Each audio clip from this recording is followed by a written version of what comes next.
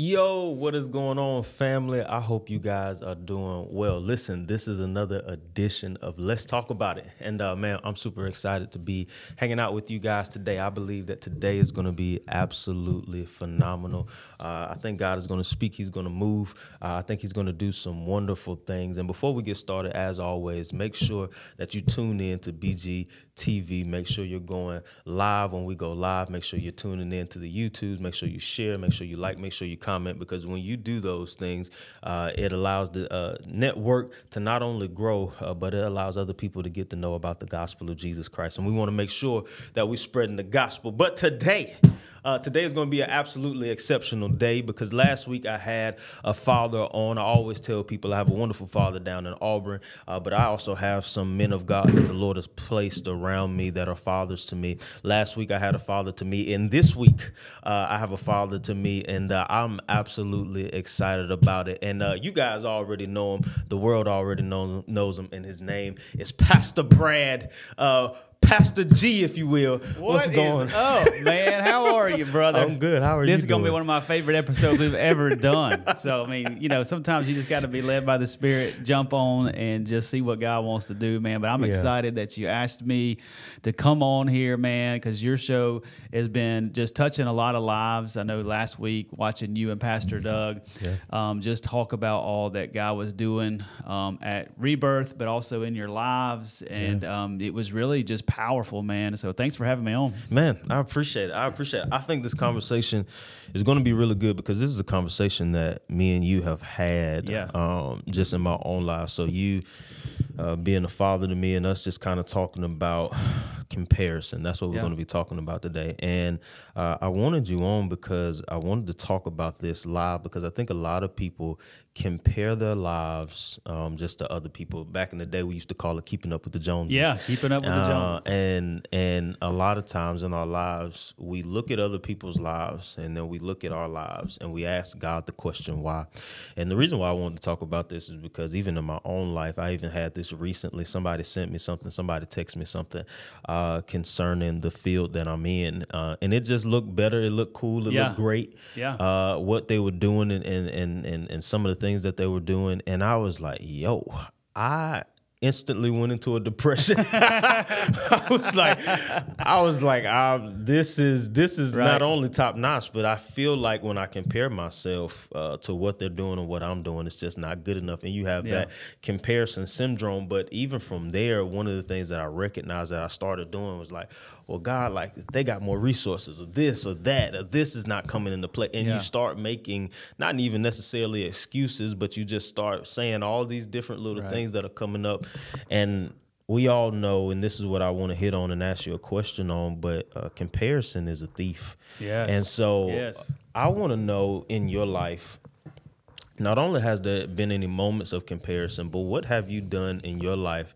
that has fought back uh, comparison? And did was there anything in your life that the Lord had to heal in order for that not to be there, or is this something that you just have always dealt with, or, Wow. or, or will always deal Man, that's a great question. I think there's a lot of people in the body of Christ, in ministry, leaders that deal with comparison, comparing themselves to other leaders, uh, other ministries, Yeah. and all these things. Uh, you know, one of the things that I try my hardest to keep on the forefront of my mind is um, that I'm I'm here to please God. So, you know, Galatians 1:10 says that, you know, you're, you here to please man or are you here to please God? That's Yeah. paraphrasing that verse. But Yeah. it, if you go read it, it, it says, Are you here to please God or are you here to please man? Yeah. So the back of my mind, all the time, forefront of my mind, I try to keep it there that I'm here to please the Lord, um, and so that helps me to know, okay, what's my main goal? My main goal is just simply to be obedient to the Lord. I feel like that. Um, I'd say about five or six, seven years ago, somewhere around there, um, Holy Spirit kind of gave me the definition of success. Because I think one of the things we do, comparison, is that we're trying to succeed and we're looking at other people that we think are successful and we're comparing ourselves to them. So, but when the Holy Spirit whispered to me, He said, Brad, the definition of success is obeying God in every season or o- obeying God in every decision. Like that's the definition of success. Yeah. Because see, what God's asking you to do is going to be totally different than what he's asking me to do. Yeah. So if you're comparing yourself to me, you're missing it. Mm. You ever heard that illustration of, um, you know, there's two walls and they both have two a, a ladder on each wall. Yeah. And one of them is climbing to, to the where you're supposed to climb. When you get over that wall, it's supposed the promised land. Everything's there. It's supposed to be there. But then there's this other wall that has a ladder, and you you know which ladder are you going to climb? Yeah. You know, because if you're climbing the, the ladder of comparison, you're comparing. You're trying to climb the same ladder as somebody else's. When you get to the top of climbing somebody else's ladder, what's on the other side of that wall is not what you hoped for, and not what you wanted, and definitely not what God created you for. Yeah. And so um, when I recognize that the definition of success is um, obeying God in every season, Yeah. that helped me to not compare myself to others as much. Mm. Because if I do, I'm I'm I'm not being obedient to God, I'm not pleasing God, and I'm definitely not going to be doing what God called me to do. Does that make sense? No, that that's that's exceptional, and I think that one of the things that is so beautiful about that is that when you get off of that, you know, ladder of comparison, you can walk fully in your purpose and what Yes. God has called you to do, uh, and begin to do it. Now, when we think about this, I, I want to ask this because this is a thought of mine, and I think you could speak some life into it. So now it's about to get uh, not super personal, but it's just me and you Yep, talking in, in the room. When you feel as though all right, I, I've compared myself. I've done that. I'm trying not to. But let's just say there's a particular thing. Let's just even say um, God asks you to do something. Oh, this is this is good. Look, Okay. All right, I'm throwing something. I'm gonna Throw throw, a monkey monkey Throw it. wrench at you. Throw it. If because of your slow obedience or lack of obedience to do something, and then somebody else takes the the Mm-hmm. reins of that, God allows somebody else to take the reins of that. What should be because in that moment you want to compare yourself again, like, oh man, Yeah. what should be the response to disobedience or so slow first, obedience? yeah, first of all, that res- but the, the first response should be the way we always are. It should be repentance to the. Lord and and you know getting back to the Lord as quick as possible to be obedient to Him. But second of all, what what drives a, a lot of us to compare is jealousy. Mm, Okay, so we're jealous of what someone else has. And so we start comparing ourselves to them and we want what they have. Yeah. And I've done that, man. I mean, we all have, you know. Um, and let me tell you the best way that I've found to fight jealousy. Um, and so I'll just give you a story. So back in let's say let's say 12 years ago, 15 years ago, I don't know. I was in ministry with a bunch of guys and um, you know, when you're when you're running with some people, man, that are anointed and they're you see God moving in their lives, it's easy to get your eyes off of Jesus and onto other people. And you kind of um, forget about what you're doing it for, why you're doing it, why you're ministering to people, and you start thinking about yourself, Yeah. putting your me focus. You know what I'm saying? And so I had a season there where I was me focused, and um, there was a particular friend of mine that man, every time it, we, we started out we, we, in ministry, man, we were rocking, rolling, we loved each other, and we were just, um, you know, loved being around each other. But then there got to a season where it was like every time that he would walk in the room, I just felt this tension. Yeah. I just started feeling this tension in our relationship. And um, I could tell he felt it and I felt it. And it was just got to a place where we didn't even really want to be around each other. Yeah. Maybe get a little snippy towards each other. And you don't even really know why. It Yeah. just started happening. yeah.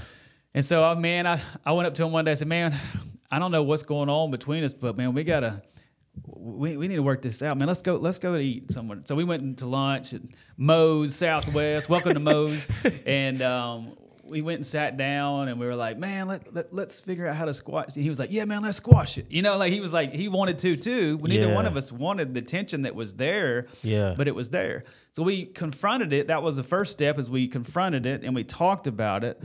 Um, so the person that I was comparing myself to, I went to them and said, Hey man, I'm just, I'm comparing myself to you. I, I, there's something here. There's tension in our relationship. You're a brother in Christ and that's not supposed to be. The Bible says, let's get along with everybody, you know? Yeah. So anyway, we went on for three or four weeks. Things were good. And then it, it started coming back again. Yeah. And so I remember it was a it was a New Year's Eve night. You know, you have we have the, you have those big New Year's Eve night services, Yeah, yeah, right? sure. Well, you know, the clock's cranking down, and I, you know, like, what are we, what are you going to bring into the new year? What are you not bringing in the new year? You know, and I was praying and I was like, God, I don't want to bring this into the new year. So I'm at the altar. We're having like a worship to bring in the new year at this moment. And um, I heard Holy Spirit say, Well, if you don't want to bring it into the new year, then you need to go up to him and tell him that you're jealous of him. Mm. So I had a, a friend in ministry, you know, a, you know, you have you have people in ministry that you that you look up to that are in, in, in authority over you in the Yeah. kingdom. Then you have people that you lead and disciple, but then you have the, the equals that that you run with. You know what I'm Yeah. saying? And and this is one of those that was an equal to run with. And so to look him in the eye and to tell him that I was jealous of him, that was swallowing my pride. You know, that was that was a lot of humbling myself. Um, but the Holy Spirit directly told me just go tell him you're jealous of him and that you um, are, you know, that you're sorry for everything and that Wow. you um, you're praying for him and just go pray for him and and and in, in all this. So I went right up to him.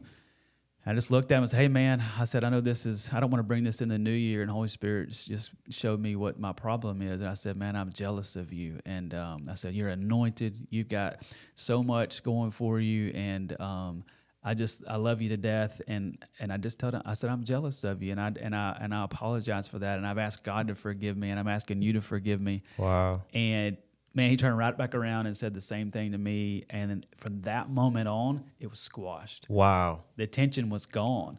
So, like comparing yourself to somebody else, there's a large percentage of that comes from when you're jealous of somebody. Wow. Um, so, if you want to squash it, is just go up to them and tell them you're jealous because it'll kill that spirit that's hiding. Yeah. And that was the tension in the room. It was a jealous spirit. And so, when we confronted that spirit with humility, Yeah. with the spirit of God, it pushed it out of our relationship. Man, I done completely forgot we was on a podcast. I'm sitting here with my mouth dropped. and I'm like, yo, Yes. like I'm eating right now. Um, because hey that- Josh, I so see you on there, and I, love see it. Tyler on there. What's Come up, on. guys? Miss Tracy, it's gonna be a good night, man. I love it. No, I mean that that's exceptional. I, I would have never thought that jealousy. I see my brother to- Michael's watching as well. On, yeah, go ahead. on, Sorry. No, Yeah. no, no. I just would never thought that jealousy would lead, would lead to uh, comparison, which is absolute. Which I think even another thing too that we can add in there is pride. Yes, I think another yes. thing is pride, Yep. um, which uh, of course is is uh, directly it's cousins with jealousy. Yeah, uh, oh, yeah, almost in a absolutely, sense, Uh, absolutely. because when we when we walk in pride, it, it allows us to almost puff up our chest and, and to not do things, to not Mm. Yeah. humble ourselves, to Oh, be yeah. able to do those things. Yeah. I was reading that scripture still one of the dopest scriptures that uh, not only pride comes before the fall, uh, but God opposes those um, who are proud. Mm. And I just always thought that that passage of scripture was a passage of scripture that was just like God uh, being um, like if we're acting prideful, God would go sit on the bench. Yeah, yeah. Um, but instead, what that scripture is saying in James is that if you're walking in pride, Mm. if you're walking in that kind of way, then God takes off your jersey, puts Mm. the other team's jersey on, and opposes you. And I think when I started to think about it like that, it was like, man, I wonder how many battles are people fighting, uh, all because God is really fighting them Mm. and not just. And I think that's one of the things that comparison does is that it allows us to walk in pride. So I'm using that, bro. I'm just gonna Come let you know right now. No, please do. Um, That's what that this is all that about. one of that is that is one of the best ways. Now, in your own life, Yeah. um, even in that situation, so you overcame that. What are kind of your tips for other people if it's not just the jealousy factor? If it's just simply like I'm looking at myself and I think this person is great, or I'm looking at my situation and this person, is there any anything else that they can do? Let's say they're not jealous. Mm-hmm. Is there anything else that you that you would say, hey, this is something else you could do for whatever reason? I feel this, and I just I want to say this, and I could be Mm-hmm. Come wrong. on, come on. But I feel like it's something directed, and I need to throw you an alley oop towards worship. Okay. Uh, like, is there any connection to a, a part of our problems when it comes to comparison? Is that our eyes? I know you said this in the beginning, but our eyes are not fixated on Jesus, not just in the sense of focused on Him, but in the sense of making Him king or making him lord over our lives uh, in the sense of where it is no longer i'm looking at the next man and trying to uh, do what they do but I'm, I'm looking to god not only as like a god that provides for me or, or help me make it on top of this ladder Yeah. but a god that that leads me guides me and maybe never even take me on the ladder that i would choose to go on Absolutely, absolutely. You know, I think that you hit on some things there, man, and I'll just kind of break it down. I'll just talk, let the Holy Spirit lead. But I think that when you have your eyes on the Lord and you're not focused on where you want to go, but you're focused on where God wants to take you.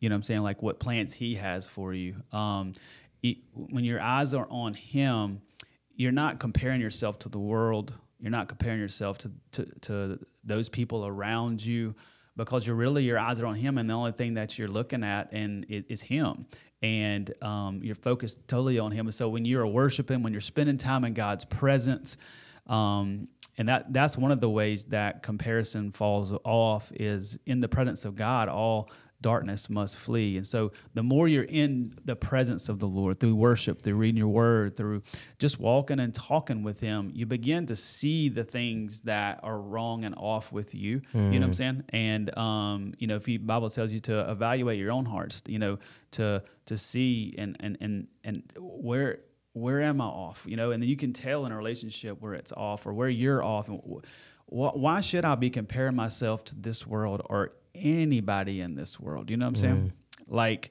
my the way that I should be, the Bible says that I should want to become like Christ. And the only way for me to look like him is to look through the scriptures, look through the Bible, look through the Word of God, and allow the Word of God to continue to sharpen me and change me. And I think that's one of the mistakes that the bride of Christ in this moment is missing that we have gotten away from allowing the Bible to change us. Mm. We read it because we're supposed to check it off of, of a checklist, we read it to, to make ourselves feel good. But we don't, we no longer read it and allow it to change us. My God.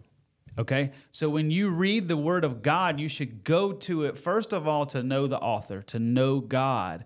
But when He speaks, you should have the respect and awe that this is the Word of God. Mm. And when it speaks to me and says, Brad, change this, I bow to the King and I say, Yes, sir. Mm. The Bible says in Luke 6 46, why, this is Jesus talking. He says, Why do you call me Lord, Lord, and not do what I say? Mm.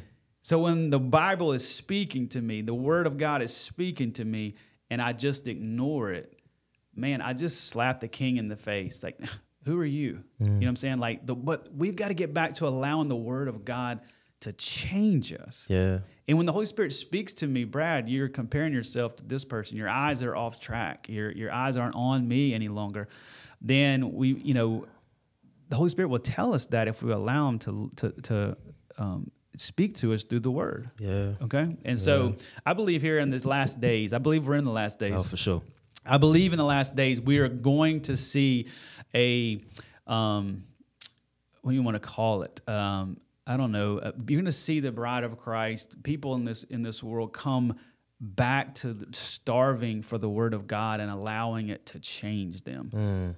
because that's where everything starts. There's yeah. got to be an authority, and that authority that we live by is the word of God. And yeah. so that's the main way to uh, to kill comparison is by the word of God. Yeah. And allowing the presence of the Lord to drive that out of us. Come on, man. No, you know? that's that's exceptional. I think that that's a lot of times the place that I'm in when I when I'm comparing myself and when I find myself not necessarily in sin, but just like the little petty things in life is mm. all because I lack being in the presence of God. I mm. lack worshiping Him. I lack hearing His voice. Yep. I lack uh, being around Him. And and when you lack in those things, that's when this all these things I, I told somebody um, i said one of the things that i think that the enemy the enemy is i don't think is after your car your house or anything like that. I think the enemy is after your time so you don't spend time with the lord. Yes. Um, because if you spend time with the lord you'll strengthen your relationship with him but you'll also have a greater focus on him. And i think that uh, when you have that greater focus, it allows you not to compare. And so I think that that is exceptional. Spending time with the Lord, admitting where you may be jealous.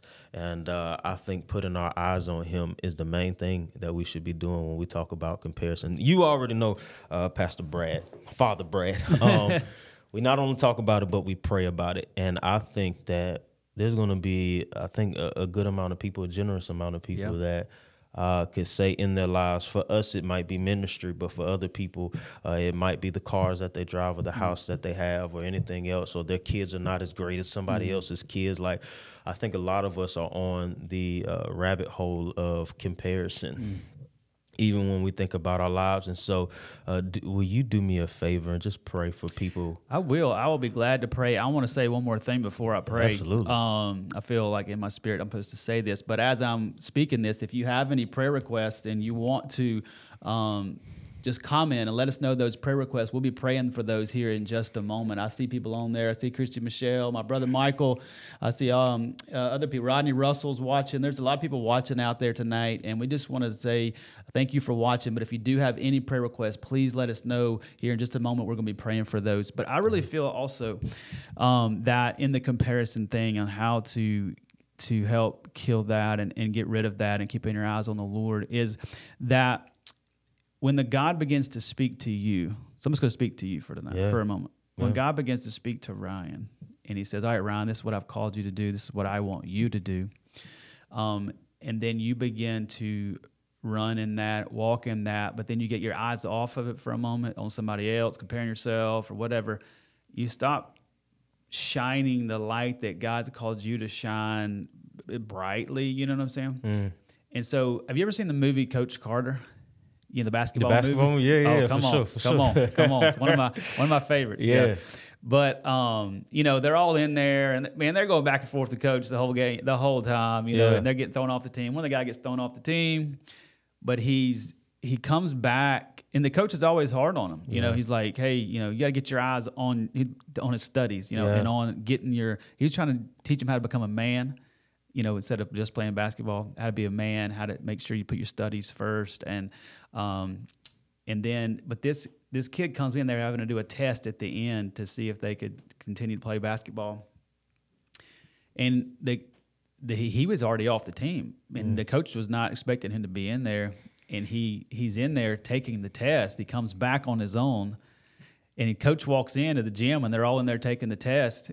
And um, and he looks at him, and he's like, what are you doing here? Basically, you know, I'm just paraphrasing. And he and that kid stands up. I love the clip. You got to go watch it. And he basically, he says that I've learned that I don't help anybody else out around me if I'm not living to my greatest potential. If I'm not letting my light shine to the greatest potential. Basically, he was saying that we are more scared of the brightness that we can become.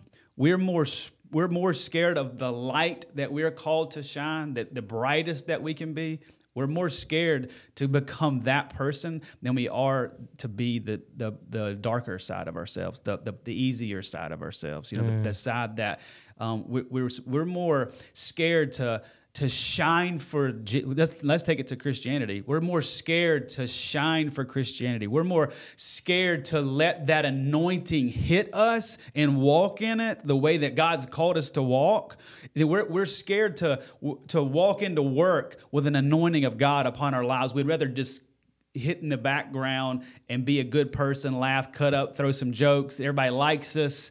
It, it's it's like he and he was like, I don't do my community. I don't do my um, his fellow people, his friends. He don't. I don't do them any kind of respect. I don't I don't help them out any when I shrink back to myself and I don't live out the way that God's called me to live. And I believe in this last day, you're about to see people rise up. Romans 1:16 said, "I am unashamed of the gospel of Jesus Christ." We are on Jesus's team. We are his messengers. We are his witnesses of what he did for us. Mm. And it's time for us to rise up and shine unashamedly because when we shine unashamedly, it begins to shine that light and it wakes up those people around us. And that's what's needed is, man, if you're going to, it'll easily break off. Comparison will be the smallest little spirit ever when you're walking brightly, shining the light that God called you to shine. Mm. When you're walking in who God called Ryan Allen to be, you're not anywhere closely thinking about anywhere anybody else because you're you're being you Today, Scottie Scheffler just won the Masters. He won a second green jacket. He won by like four or five strokes. Wow. He was so focused on what he was doing. He was not comparing himself to the guy that was playing golf right beside him. Wow. Even when he made a bad shot, he wasn't comparing himself to that guy who just made a good shot. He was focused on what he was called to do in the moment, getting himself out. When he hit a bad shot, he had to talk with his caddy, get it back and get back focused on the mission. Mm. So, Ryan, when you make a mistake and you fall and you down, and we all sin, we all mess up. We just got to get back up, stay focused on what our um, commander in chief, Jesus Christ, has called us to do and shine the light that God's called us to shine. You yeah. have a great influence with the youth that you are leading at Rebirth with the great ministry of Built for the Wild, man, that you've been going on for years, the so many, so much influence. But I want to speak into you tonight, and I'm going to say this: there is a level that you've never reached. Mm. There is a level that you can reach but what happens is we get focused on other people, comparing ourselves to other ministries, other people, and um, we we get scared of what it may look like to shine the brightest that God's called us to shine. Mm. God's called you to shine even brighter. He's called you to be even more unashamed of the gospel of Jesus. And I believe in these last days, you're about to see a line drawn in the sand where you're going to really see people who are unashamed for Christ, who stand up for Him and say, Yes, I'm a follower of Jesus, and I, this is the way I live. Yeah. Yes, I might make mistakes, but I get back up, I ask God to forgive me, and I keep going. Yeah. I believe to you, man, there is a light inside of you that, that is brighter and it is yet to shine. Mm. And I believe here in this year, you're going to be um, stepping into that if you allow it, if you don't hold back because of the the people around you. Mm. Sometimes we hold back because we don't want the others around us to feel like they're not doing anything. Mm. And that's the enemy holding you back. And that was that clip in Coach Carter. He's like, Well, I've got to shine my brightest. Is it because these people around me you know what I'm saying? We we hold ourselves back because we're afraid if if I shine bright, I'll make this person look dim. Mm. You see what I'm saying? Yeah. yeah. And it's time for that over. That mentality's got to to go to the wayside. And I believe we're about to step into a season where there are going to be brothers and sisters in Christ who stand up and say, Yes, I'm going to shine my light brighter than I've ever shined it. I'm going to spend more time in the presence of God. And we're going to watch Jesus do some amazing things here in this year. Come on, man. Let's talk about it, man. I'm I'm I'm full. I'm full. I'm fired up, man. I'm about to flip this table. yeah. No, I love it, man. No, I mean that speaks volume to me, and I know that speaks volumes to other people because I mm. think it we we are in a time where I think if there's ever been a time where God wants you to lift up his name the highest, it would be now. Yeah. I think in the state of our country and the state of just our world in general. Come on. I think this is the time if anybody wanted a quote unquote job for Jesus, no matter yep. what you're doing, this is this yep. would be your time to yep. shine the brightest. Absolutely. And so I, I think that's I think that's absolutely amazing, man. Like I said, I'm I'm full. I pray that you guys are full. I see the the chat is uh the chat is going up, man. And will you do me a favor? Yep. Uh, we're going to talk about it and we're going to pray about it. And I think that uh, just even where the Holy Spirit has led us to, um, is not only not comparing ourselves, but being bold in what God has called us to do. Absolutely, man. And being bold in um, what he's calling us to do and doing it uh, just unashamed. So unashamed of the gospel and unashamed of the way that we would do it. Yes. And unashamed of the way that God has called us to do it because mm. there's avenues for everybody because God does not speak one, langu- one language or he does things one way. it's different ways. So if you could pray for us tonight, yes. I think um, I think that would be killer. I will definitely pray. And I do see we have a prayer request from Miss Tracy. So I'm going to be praying for her friend Sandy's back as well. Yes. Um, so let's pray. Absolutely. Father, in the name of Jesus, we yes. come to you, Lord, just thanking you for your presence most yes. of all, God. Yes. We can feel you right here in the studio. I pray that your presence would go out through these airwaves and for all the people that are watching now and later, that they would feel your presence as they watch this video, God, as they watch this podcast, Lord, that they will feel your presence. Know that you are with them, God. And I pray for your presence, God, to just sweep in and that you would just push away all darkness that they would be struggling with, God, that your power, that your light would shine brighter than yes. any darkness, God, and push it away. I just call down peace over everybody that's watching right now. I just speak to all the wind and all the waves in everyone's lives, God, that they that you would just um, I just speak to them. I, I just command those waves to be still. Yes. And I just believe the Prince of Peace is going to come walk into your life tonight, and you're going to really believe and see that he is he is alive and he is active and he is um, he is his eyes are on you, and so. Um, I just pray right now for Miss Tracy's friend Sandy, who has a chronic Yes, back pain, Lord. Right now, I just pray healing over her right now in yes. Jesus' name. We release the power of the gospel, Yes, the blood of. Jesus over her. Holy Spirit, we ask for you to heal her back right now in Jesus' name. And that as her back begins to heal, God, I pray that she would have an encounter with you, knowing that you touched her and that she would grow closer to you, God, because we know that miracles are designed to draw people closer to you, God. So, Lord, I just pray that you would touch her in this way in Jesus' name. And I just pray for everybody out there, Father, who is having trouble comparing their lives to somebody else, God, comparing their lives to their friends, to their neighbors. Um, to their coworkers, God, I pray that their eyes would get off of other people, first of all, their eyes would get off of their self and god their eyes would get on you god their author and perfecter of their faith god that, that lord mm-hmm. they would just stare into your eyes through your word through worship through prayer through walking and talking with you god. I pray in the name of jesus lord that you would do something amazing in their lives tonight by helping them to re understand what it means to reconnect with you, um, to get close to you, to spend Yes. intimate time with you, God. And I just, I just command the spirit of comparison to get off of people right now in Jesus' name. For those people that are struggling with uh, jealousy, God, that they would confess it to you and to others, God, and they'd be broken free of that in Jesus' name.